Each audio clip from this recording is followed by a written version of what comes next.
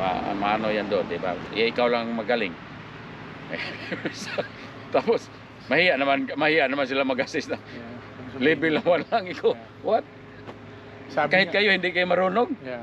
Eh, paano kayo mag paano kayo mag uh, mag mag mag-improve? You guys, you, you have to wake up. You know, you have to be you have to be a person, you know, like yes, sir. Pakisama. makisama parang ganun.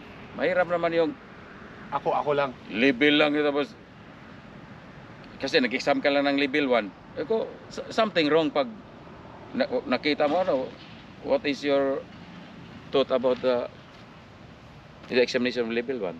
Ay, mas maganda pa yung ano, yung yung iba talaga level 1 pa talaga kasi Oo. bago eh. Right. Pero yung mga iba na mas, mas mataas na yung level nila. Pero so yun ang magpasalamat, pag-usap. mag, magpasalamat, magpasalamat pa nga ang yung mga examiner Oo. kasi